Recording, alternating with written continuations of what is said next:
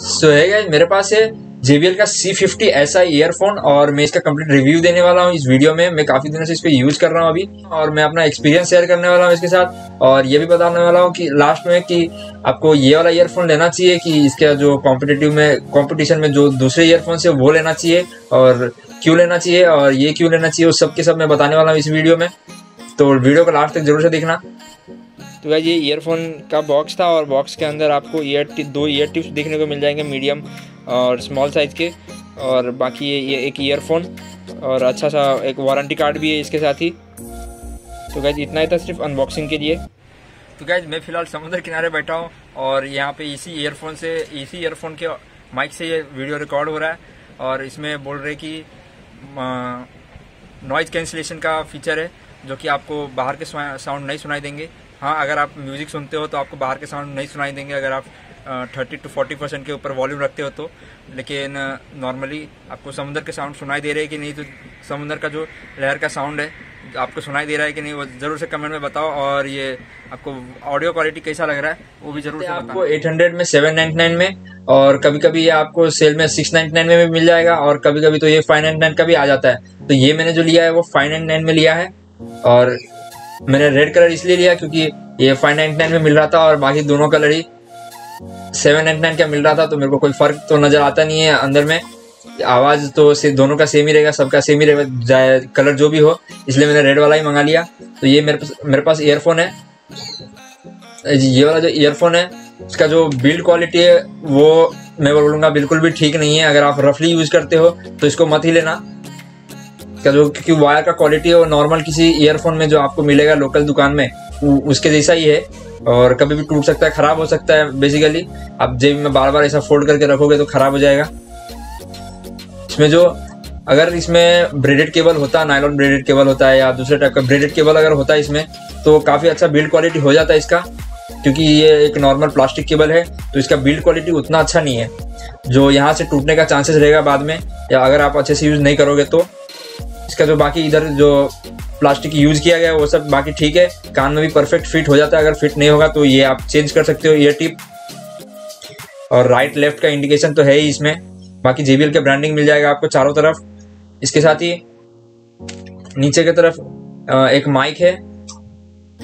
Mic में एक button भी है। इस बटन से आप प्ले पॉज कंट्रोल कर पाओगे और बाकी आप फोन्स वगैरह अटेंड कर पाओगे फ़ोन कट कर पाओगे आंसर कर पाओगे।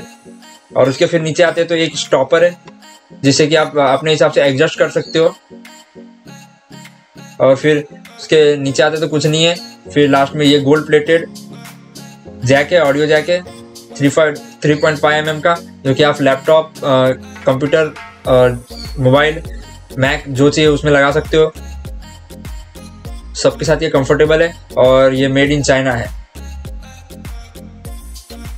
और यहाँ पे इसमें वायर्ड हेडसेट और बाकी चाइनीज़ में भी कुछ लिखा हुआ है। चाइनीज़ नहीं आता भाई। बाकी यही था एक पूरा ईयरफोन इसमें अब मैं अपने, अपना ऑडियो का एक्सपीरियंस शेयर करूँगा।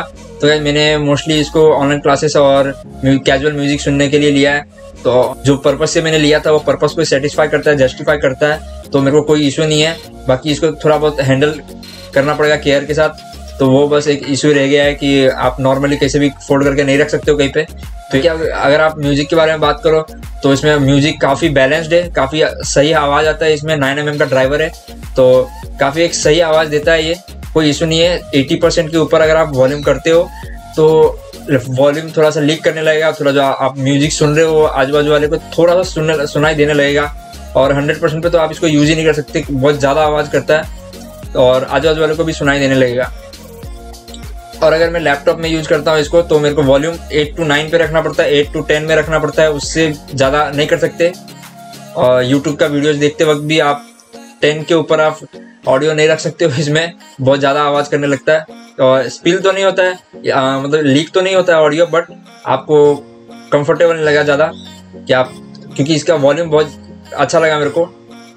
बाकी अगर आप इसको नहीं लेके आप दूसरा भी लेना चाहते हो तो उसका ऑप्शन है कि मतलब अगर आप ब्रेडेड केबल के साथ लेना चाहते हो जो कि आपको ड्यूरेबल होगा और ऑडियो क्वालिटी भी प्रोवाइड करे तो उसके लिए दो तीन ऑप्शन है आपके पास। यानी कि एमआई का डुअल ड्राइवर ईयरफोन जो वो भी सेवन नाइन नाइन में मिल जाता है।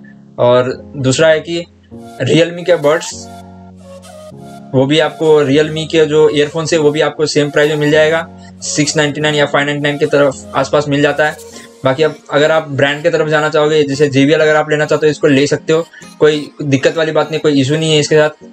अगर आपको बिल्ड क्वालिटी अच्छा चाहिए तो आपको दूसरा देखना चाहिए और अगर आपको म्यूज़िक का क्वालिटी अच्छा चाहिए आपको ब्रांड में जाना है जेबीएल जैसे ब्रांड का अगर लेना है आपको तो आप ये बिल्कुल भी कंसिडर कर सकते हो क्योंकि C fifty C C one fifty C hundred C two hundred ऐसा ये सब जित, जितना भी इसका जेबीएल का मॉडल है वो सब के सब सेम टू सेम है। कोई उसमें इस, कोई भी फ़र्क नहीं है कोई भी डिफरेंस नहीं है। इवन ऑडियो क्वालिटी में उन सबका सेम ही आता है।